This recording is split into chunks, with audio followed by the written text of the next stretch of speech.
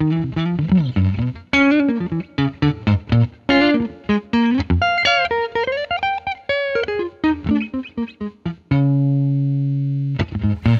I'm Molly Miller here at Guitar Center checking out this new Fender American Performer Mustang.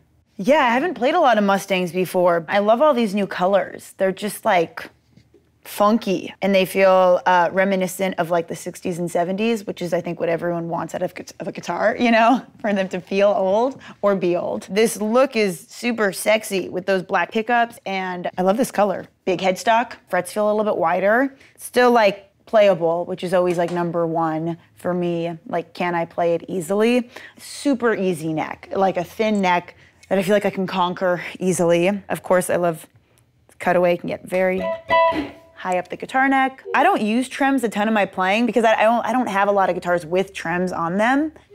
This is cool even just visually. It looks like a little like rolling pin rolling over the strings, which is fun.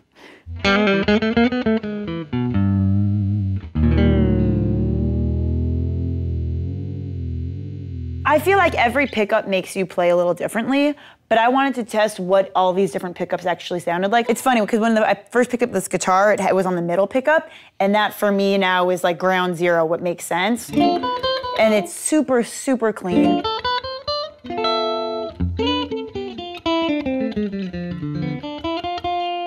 Versus the a little bit warmer on the neck, dark and moody.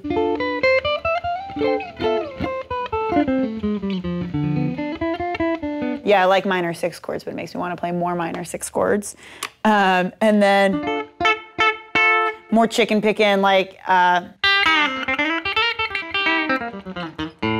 like I like a straightforward guitar because sometimes I find that too many bells and whistles are distracting because you can get so much out of just a simple instrument in your fingers. So it's kind of nice to start there most guitar players, we want like an arsenal, like a variety of guitars.